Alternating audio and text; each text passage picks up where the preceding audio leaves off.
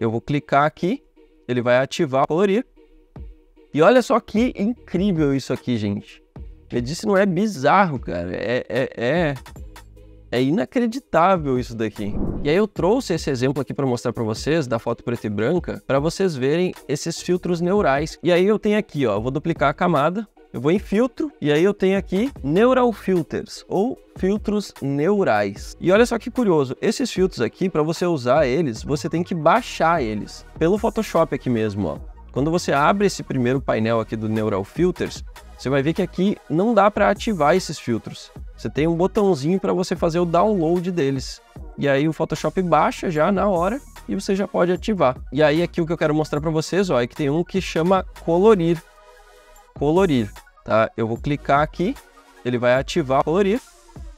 E olha só que incrível isso aqui, gente.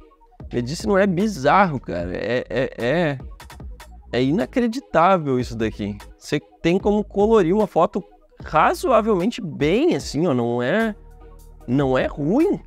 Claro que não é perfeito, dá para fazer alguns ajustes, mas tá longe de ser ruim isso daqui, né? Tá, tá muito bom, na verdade. E aí a gente pode personalizar algumas coisas aqui. Eu posso mudar o perfil, eu posso mudar a saturação, posso mudar as cores aqui, fazer uma correção já de cor. Tá, então deixa eu só aplicar aqui para a gente ver. Vou dar um OK. E olha só, em segundos a foto está colorida, colorizada, né?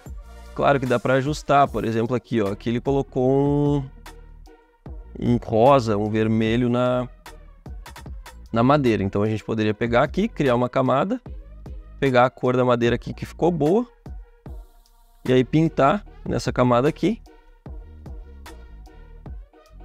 e depois mudar aí o modo de mesclagem dessa camada para um modo que substitui a cor, que seria aqui o matiz, ó. Muda para matiz, aí trabalha um pouco a opacidade, você consegue corrigir, ó. Mas como base, já ficou muito bom, colocou corzinha no cabelo, colocou cor na pele, tem algumas manchinhas na pele, mas dá para corrigir bem fácil, então muito legal.